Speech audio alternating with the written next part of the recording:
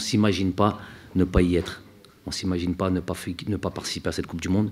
On s'imagine pas. Euh, nous, on est 100% optimistes.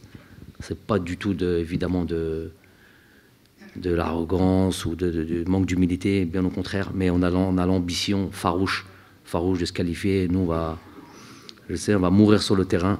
Ça, c'est, ça, c'est sûr. On va, rien, rien n'est laissé au hasard. Tout, tout, tout, tout est étudié, tout est, Après, c'est les, aléas du, du, football, mais nous, on y va avec euh, beaucoup, beaucoup, beaucoup de confiance.